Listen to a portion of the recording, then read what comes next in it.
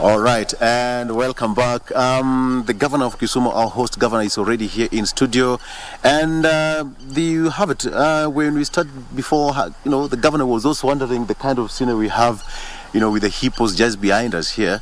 Uh, they're basking in the sun, but the question is, they are in water, but they're basking in the sun. Science.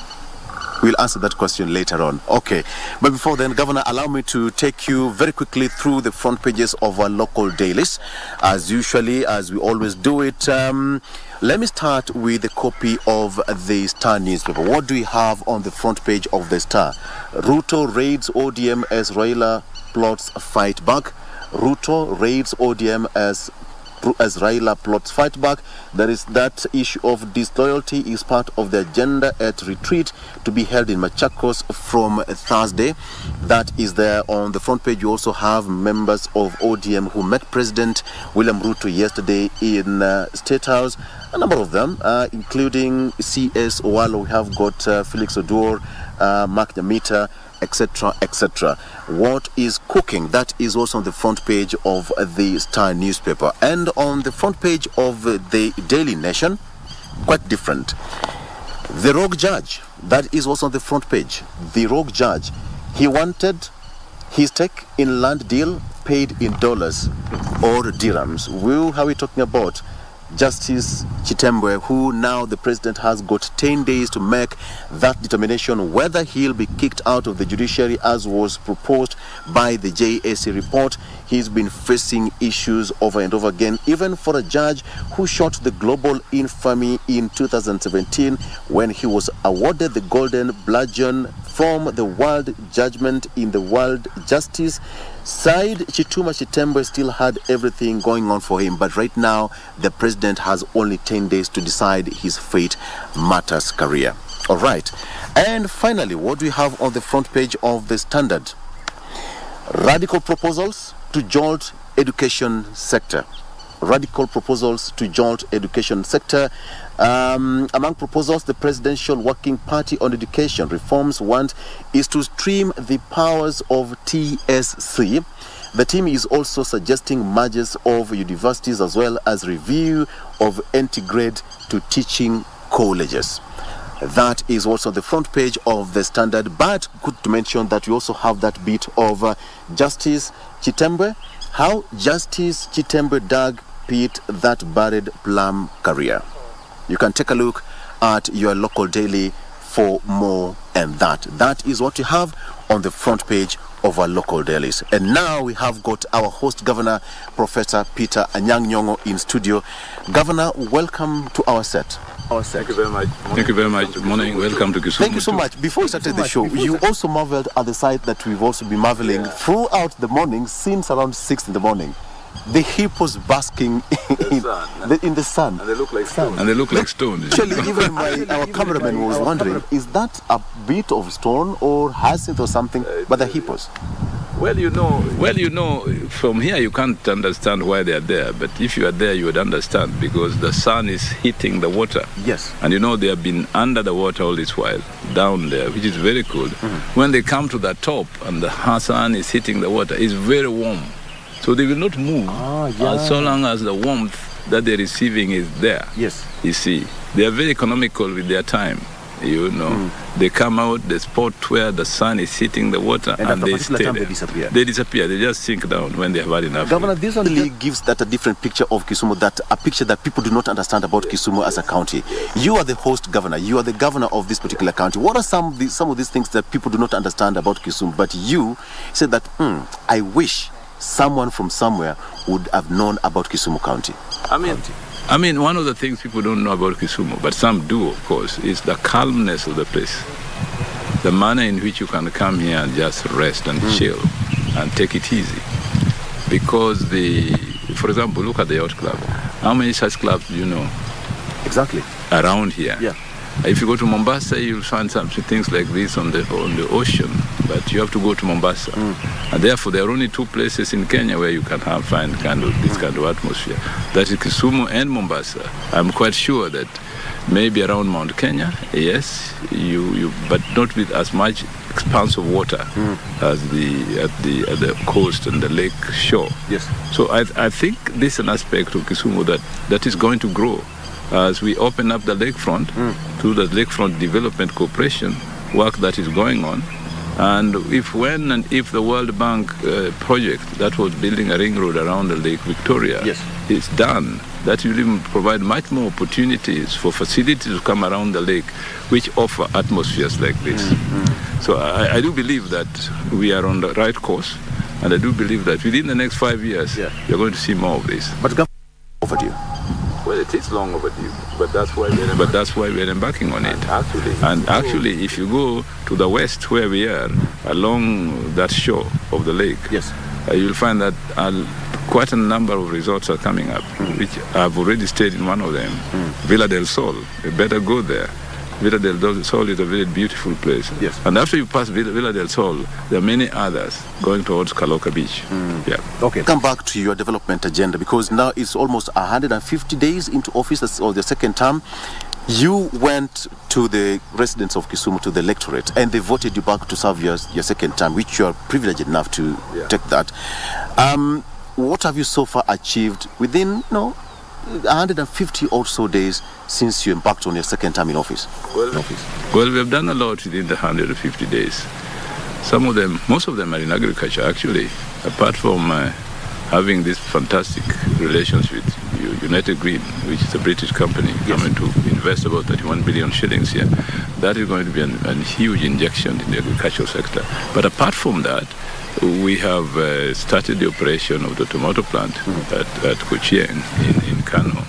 And the animal reproduction center in Chemelil is going on very well. And we have a lot of irrigation projects in the Nyakach Kano area to revive, uh, to continue reviving production of, of, of rice and, and other crops. Yes. But much more important is that we've managed finally to bring in a 30 million rice milling plant in, in at the Ahero irrigation scheme, uh, where the National Irrigation Board has its facilities. That that that that. Uh, Rice mill is going to make a lot of difference to rice in terms of value addition. So far, you know, Ugandan traders have been coming to the rice belt and buying rice without any value addition. So they, it's they who are enjoying the value addition and not us. So now we are going to mill our own rice here with a very big rice mill that we have bought by the county. And once it starts operations, it's a game changer. Yeah. Yeah. And Governor, that's about the project nobody would easily understand or know unless they're highlighted. When you talk about Uganda um, getting into the business aspect with Kisumu County, how much is going to be the turnover uh, ultimately, giving a projection of five years? I think it's big. I think it's big. I mean, I think it's really big because if you consider that there are only two places producing rice Yes. in large quantities in Kenya, that is Mwea and Ahero. And Ahero rice is really preferred because of its taste. We have a huge market. And as other rice come from Uganda, I mean Tanzania, and of course some people import rice from Pakistan, as far as Pakistan. But once we increase production 10 times, we are going to have a lot of import substitution in, in, in Kenya with rice from Ahero. But another thing we've done, which is very innovative, is to establish the zipline drone Yeah. company. Yeah. Now, people don't understand Zipline.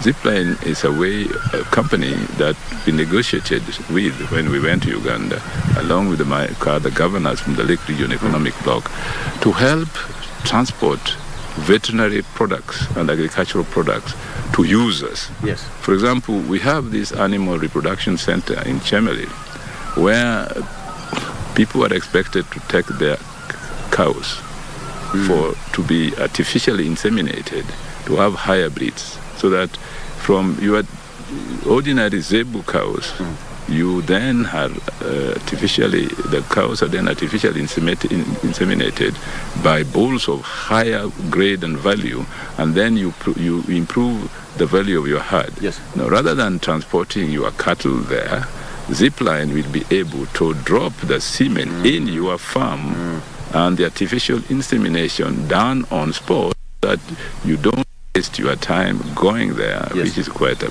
problem. Mm. But also another thing is, which is going on at the moment too, is that sometimes we need to drop medical products to dispensaries, health centers, and so on away from Kisumu, rather than put them in a truck or a van or whatever. Or a motorbike Yeah. to take them, which takes time. You use zipline drones to drop the product. And this is there a new innovation. very new. I mean, there are only two, two three such other uh, uh, drone facilities in Africa, in, in Rwanda, in, in Ghana, in Nigeria. So we are the fourth. Okay, Yeah, let's talk about health. health. Um, it's quite close to the heart of people as well. Um, the government, through you know the national government, health is part of the devolved functions, and um, you are doing a lot in terms of uh, devolving and taking to the sub counties. What is the progress so far? The progress is, is, is good. Is, is, is good, but I think we're determined to do more. As you know, health health delivery systems is a function of county governments. The government, the national government also makes policies and training and all that. But when it comes to where the rubber touches the ground, particularly primary and, and, and, and uh, primary family and public health care, that is the work of the counties. Okay. So it means that we have to develop tremendous capacity at the village level to ensure that the health of our people is improved. And part of the health, quite a good part of the health, is nutrition and environment. If people don't have good nutrition, of course, they're going to jeopardize their health. Yeah. If don't, they don't live in a clean environment, there's another problem. So we are tackling those th- the health issue in a three. Sorry. Sorry.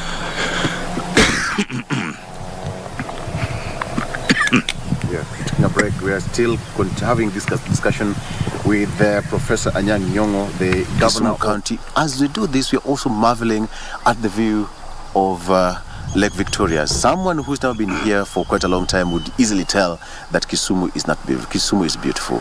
We are just right, just a few meters, you know, From the water. from the water. So we are lucky enough. All right, Governor, talking about matters health and how close it is because the primary health is where a majority of Kenyans depend on first. Yeah. When?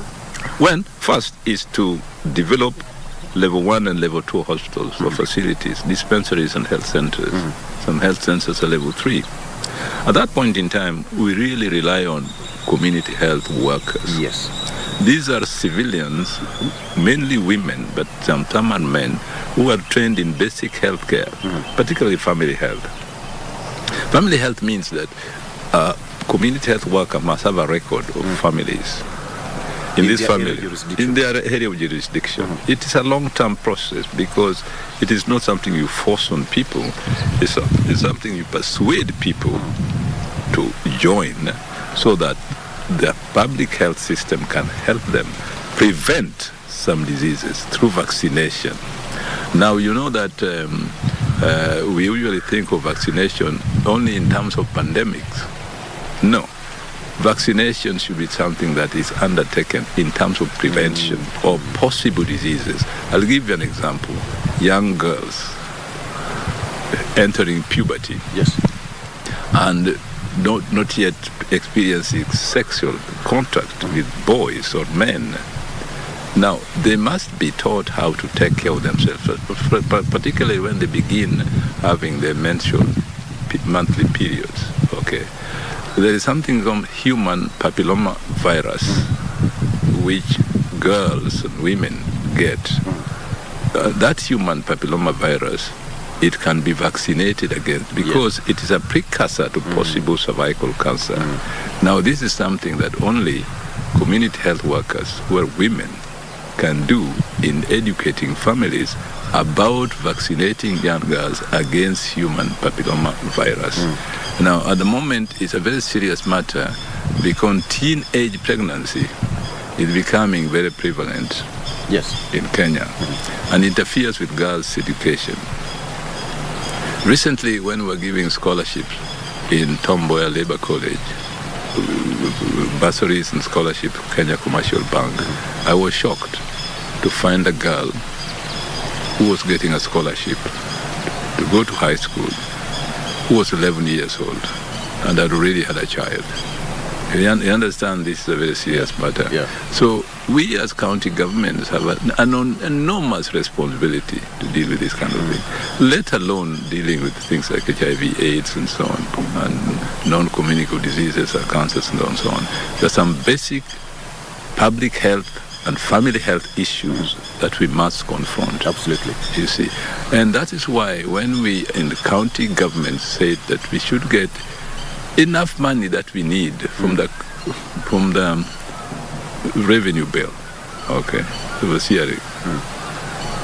I mean, it is not because we want to misuse that money, it's because that money is needed for very basic health care provision in our societies so that we live in a healthy, strong, and productive nation. That's one. Secondly, uh, in terms of health again, if you don't have access roads in the rural areas and somebody accidentally falls sick and even a motorbike cannot reach that home, you remember, you realize you're not doing a very good thing to your people. Absolutely. Because people don't build their own roads. Roads are communal things. Mm-hmm. Access roads are communal things. Therefore, when we establish village administrations, village councils, and so on, mm-hmm. we give them five fundamental responsibilities.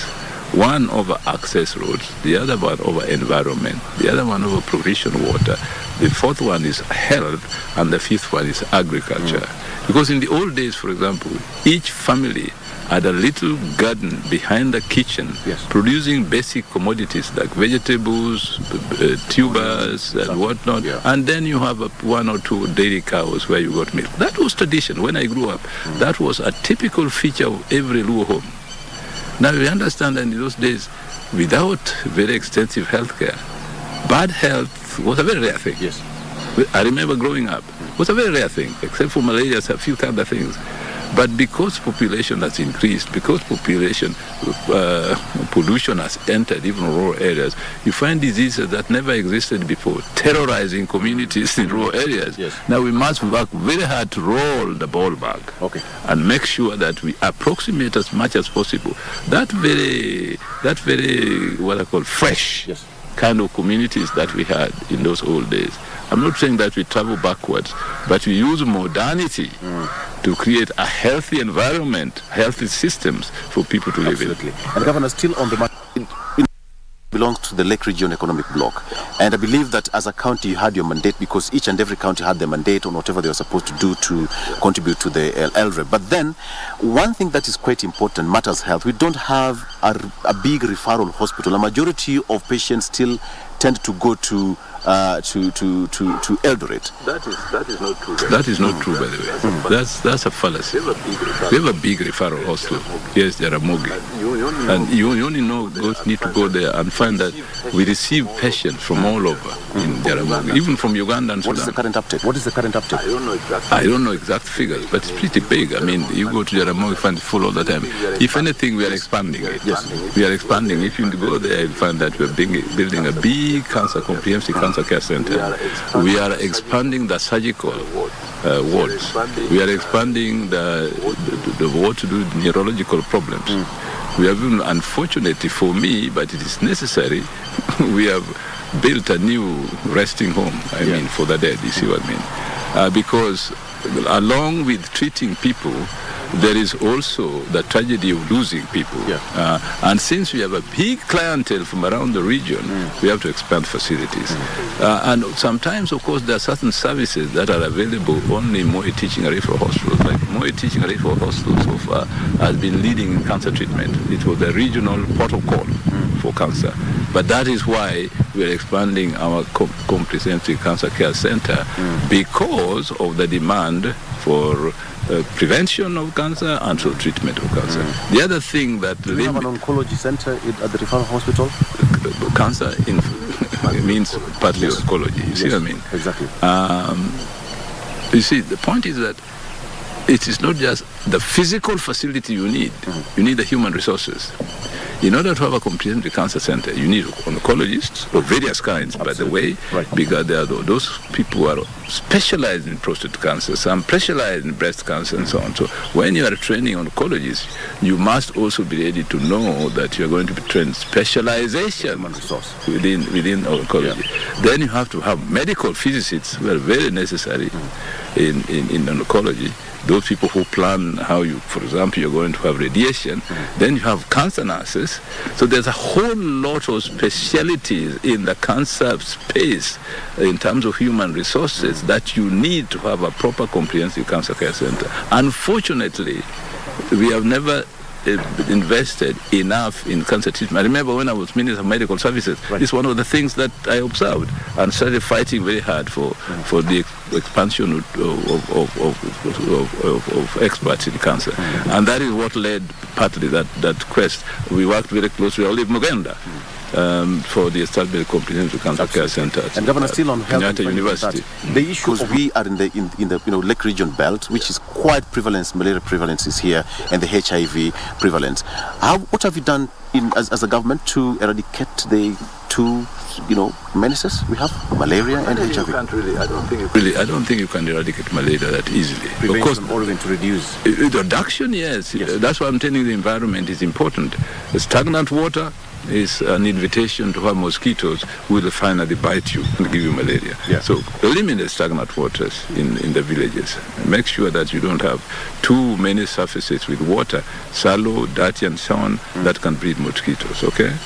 And, and then advise people to sleep under bed nets. Okay, bed nets will help very much, especially young people, to to avoid getting malaria. And thirdly, uh, there's a vaccination for malaria, but it's not very prevalent. I don't know why.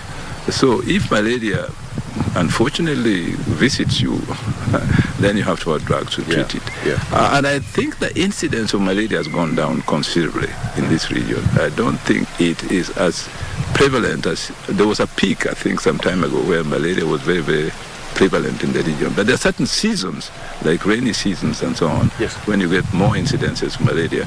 But what we are saying in Kisumu County, prevent it. Prevent. Fight the war for preventing malaria more than fighting the war for curing it. Hmm. Because if we prevent it, you not need to spend too much money curing it. Okay. Governor matters agriculture. We, you know, Nyanza as, as a region is is a county that, you know, can sustain itself agriculturally, and a majority of people uh, depend on whatever the little they have from their shamba to sustain themselves. But let's talk about the large scale. What's you know the, the, the black gold or the white gold, the rice in Ahero. You talked about rice. Whenever it is seasonal, a majority of those people do not get time to plant.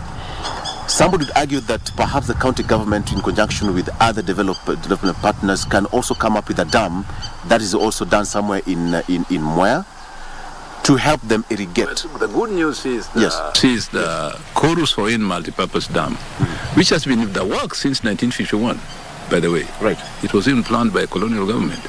The Koru Soin multipurpose dam is finally being done. It's finally It's done. fun and the work is going on. Okay. Everything's going on. And the one good thing is Chorus Hoin multipurpose dam, you will not believe it, but it will have effect up to Riat Hill here in Kisumu.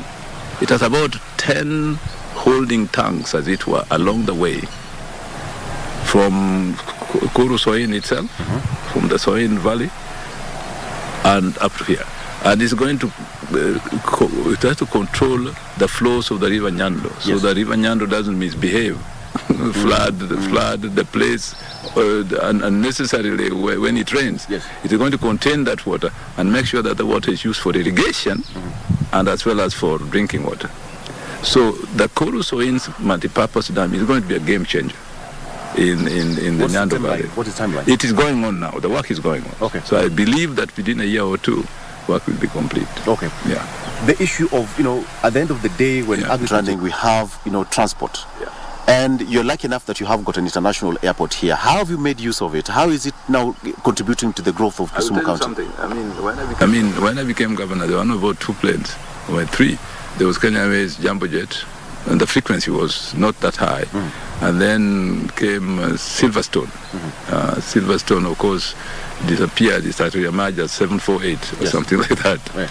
And then Safari Link came, and now 748 came, and then Renegade came. So I have seen during my, my my time as governor the increase of air transport here go up about fivefold. So the passengers, um, I understand, has Yeah. gone up uh, exponentially and will continue to grow. We, we- when we were holding Afri-Cities convention here in May last year, we pushed very much with the Kenya Airports Authority to make this airport truly international by having an arrival, extra arrival space and extra uh, departure space, and that was done. Yes. And now the, the, the arrival space, we are still waiting for the belt, conveyor belt for luggage to be completed. Otherwise, when the conveyor belt is completed, we expect that we can get planes coming from Addis Ababa stopping here and taking off here. Mind you, Kisumu Airport is the most cost-effective airport to land in and take off in because of the altitude. Because of that attitude. Yeah, it's, it's, it is comparatively much better than Eldoret, than even Embakasi in, the, in that regard. In fact, in the old days, because of the lake, the, the hydrofloat, the, the planes that used to land on water used to land here on their way to Johannesburg. In fact, when the royal family, I think Queen, Queen, the President Queen Elizabeth and Princess Margaret came here to Kisumu, they, they used uh, tho- those planes to get here. So, so Kisumu is known internationally as an international airport Yeah. since colonial times. We should build on this fame and make sure that it truly becomes international in terms of air traffic, commerce, and industry in the region. I do believe that uh, be, with the revival of the port and now maritime transport between us and our neighboring countries going on uh, progressively, that the airport too will be also increase its activities progressively. Absolutely. What are you doing in terms of extending the, the, SGR from where it is right now to Kisumu? I, I, I, I'm the wrong person ask what I'm doing. But what I wish to be done Exactly. is that the SGR reaches Kisumu. And that was the original intention. Why it didn't reach Kisumu, I don't want to go into because the national government should answer that question. Mm. But I think the intention still is that the SGR, SGR will come to Kisumu, it will continue to Busia, it will connect to the Uganda SGR Yeah. into Rwanda, Burundi, and the DRC. Mm. Governor, you know, when you talk about matters transport, finally, uh, you know, the port already has, you know, oil being transported to the neighboring count, country, Uganda. Um, initially, it never used to happen. What is the progress to Well, this far? it did happen. And did happen until 1978. And then it also. when the community collapsed. Maybe you are too young to know that. But 78, the, the SGR collapsed when I was teaching at the University of Nairobi. Right. It was a traumatic experience because I knew the, mi- the Minister for East African Community, uh, the late Robert Ouko, was a good friend of mine. And I remember we were having a drink at Quality Hotel in Kisumu, in Nairobi, when he told us the tribulation of the East African community as it was collapsing. Mm-hmm. But that's now history. Now, look, the thing is that it is in the interest of Kenya for the SGR to connect with Uganda. Mm-hmm. It's really the interest of Kenya because you see, Uganda has a huge uh, market here in Kenya in terms of importing things from Kenya. Mm. So I think it, it is for us to make sure that we are aggressive in being uh, leading partners in the East African community. It is in our interest, I must say, so that the, the growth of the Kenyan economy is organically connected to the growth of the East African economies up to DRC and South Sudan and all that. And Kenya, happily, has been the epicenter of modernization in this part of the world and economic growth. We must build on that comparative advantage by being aggressive on building infrastructure in East Africa. So I I take it, uh, like the Americans, we hold this truth to be self-evident that Kenya should spur the growth in East Africa. Right. We hold it as self-evident, and it's nothing that we can argue about. If anything is a truth we should build on. Okay. I have a question here. Yes, what are you doing on the access roads? There, some of the access roads in Kisumu rural areas are not in good shape. Well, that's well, that's a phenomenon the whole Kenya over, but we're doing something about it. I mean, I wish he comes and I take him around on some of the access roads we have built, but we we still are a long way to go to complete the job. Um, I I I was MP for for Kisumu Rural, which is now Seme and we did a lot, but we didn't have money for those roads. Now the county government has the money to do rural roads. The demand is enormous The demand is enormous. What we have done now is to establish a wing in our roads department called called uh, uh, the machine-based road building system. In other words, we buy, buy the machines like the in the old colonial days of having the public works department. Now we have our own public works department Right. where we don't need to hire a contractor. We have our people who go there, and when there's a necessity to build the road, we build it. Absolutely. Yeah. Now that's going on. Or we partner. At the moment, we are partnered with the National Youth Service to build a tarmac road from Nambakapio mhm. to Ndere Island, about 17 kilometers. You know, tarmac roads are very expensive, Yeah. so we can't do many of them. But at least by being imaginative and innovative, we want to do that progressively. So we will finish that mm. within the next couple of months, mm. start another one somewhere else, so that we progressively come from t- murram roads to tarmac roads. We do murram roads for access, but when we want to make them more permanent, then we go tarmac by the pa- partnership hmm. with, with, with certain entities who have the capacity to do so. We bring the money and the equipment, and they do it. All right. Yeah. And finally, Governor, some that Kisumu County is Kisumu County is rising as an investment destination of choice. What's the magic? And number two, do you have enough land for investors? Well, we do. Well, we do. Well, land is a problem because you know the municipalities and the county council really misuse land and misbehaved. A lot of lands were grabbed, but we have working together with the Ministry of Lands, the Department of Land, National Department of Lands, the National Land Commission, and the Anti-Corruption Commission. We have a committee hmm. That we have established that looks into the land that was grabbed and where we can get it back, we get it back and put it to the disposal of investors. For example, now we are having partnership with the Great Lakes University to establish a pharmaceutical farm at the Great Lakes University by a company from the US called MedEditas. Right. They are going to have a pharmaceutical farm at the university in an area that is going to be a, a special economic zone and they're going to produce pharmaceutical products with the aim that in future we should have a pharmaceutical pharmacology fac- faculty at the Great Lakes University. So we want to combine production with learning in that regard. So my editors is working with that. In fact, we just have been having meetings this week to establish from a pharmaceutical farm with the Great Lakes University. And then we acquired land there. Okay. We have to buy it ourselves. But also we are now working with the Special Economic Zone Authority to declare that area Special Economic Zone Yes. for purposes of producing pharmaceutical products. Yes. And finally, Governor, this is now uh, close to my heart as well. Yeah. I'm an artist, and uh, my sister Lupita is also an artist, and privileged enough that at some point we shared a platform at the Leons. Asante, what are you doing as you know through Lupita? Are you using Lupita to, you know, market Kisumu? Well, I, well, I don't want to do that, quite honestly, but she can volunteer to do that. And she did volunteer to do that when we had Africities here. I mean, she couldn't come, but she sent a message and she used her social media platform to, to advertise Africities. That really helped to attract participants to come, and we got a record partly. I mean, she contributed partly. We got a record of 11,000 visitors, participants. The biggest Afri-Cities convention held ever since it was established. Uh, I think the Union Cities and Local Government of Africa headquarters in Rabat has said so. And in that regard, we are going to have uh, an executive committee of UCLGA here, Africa, uh, in Kisumu in May because the people who came loved Kisumu. They said the food was fantastic. So I must thank Sarova Hotels, which provided the foods, uh, because that Kisumu food uh, is sung to me everywhere I go now. And people say, we want to come to Kisumu, particular food. And then those people who ate the fish Yes. in Dunga. Yes. The Dunga fish is becoming an international brand, apparently. We, we, have, we have to go there. Yes. Before we Governor, go, before we go, finally, this one. As a journalist, you never have finally. There is something happened, and I will be allowed to quote you in terms of politics. And this happened in matters, uh, matter, uh, members of uh, this also captured on the front page of the Star newspaper. There you have it. Ruto raids ODM as Raila plots a fight back. And if I can quote you as one of uh, what you said yesterday, let me just put you there. Quote quickly, Director. I'm not surprised that an amalgam of self seeking MPs went to State House without the blessing of a progressive party, the Orange Democratic Party. End of quote. Yeah, I mean, yeah, I mean, you know, when you're in parliament, you are taken to parliament by a party. And you have to go to do something as, as, as, as, as dramatic as that. You must inform your party leader. at least you must discuss it, party leadership.